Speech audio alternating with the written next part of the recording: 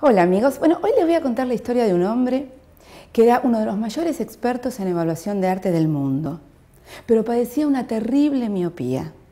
Un día tenía que visitar un museo para evaluar ciertas obras de arte con unos amigos y otras personas interesadas en comprar, y cuando llegó al museo se dio cuenta que se había olvidado sus lentes.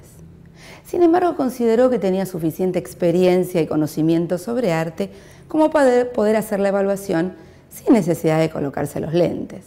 Entonces empezó a hablar, iba evaluando las obras, explicando los distintos detalles, haciendo referencia del lugar donde estaban ubicadas, de la iluminación, hasta que de golpe llega una obra que parecía ser el retrato de un hombre. Se detuvo un minuto, hizo un silencio y comenzó a explicar a sus amigos y a los interesados que realmente esa obra era una obra que carecía completamente de valor, empezando que el hermoso marco de plata que tenía no era adecuado para albergar el retrato de un hombre ordinario y vulgar. Es más, consideró que el artista se había equivocado completamente al pintar ese cuadro y que si bien podría haber elegido una persona humilde, no necesitaba haber elegido una persona tan sucia y ordinaria como la que había elegido y además enmarcarla en semejante marco de plata. Además consideraba que realmente ese museo no debía albergar una pintura de una persona tan y sumamente desagradable.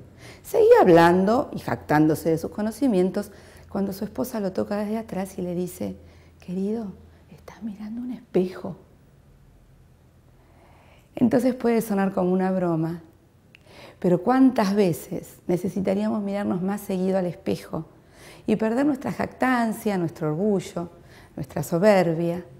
Y dedicarnos a pensar qué cosas nos gustan y no nos gustan de nosotros, de afuera y de adentro, analizarlo, porque es la manera de corregirlo. Y por supuesto que es mucho más fácil negar las cosas que no nos gustan nuestras o admitir las críticas que nos hacen a veces los amigos.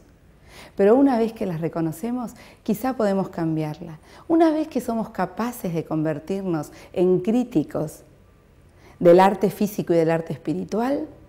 Y una vez que somos capaces de mirar nuestro físico y nuestro espíritu, vamos a poder mejorar lo que vemos y corregir aquellas cosas que no nos gustan. No es fácil, pero como siempre es una nueva propuesta que les hago para que jueguen un rato. Desearles feliz semana y hasta la semana que viene si Dios quiere.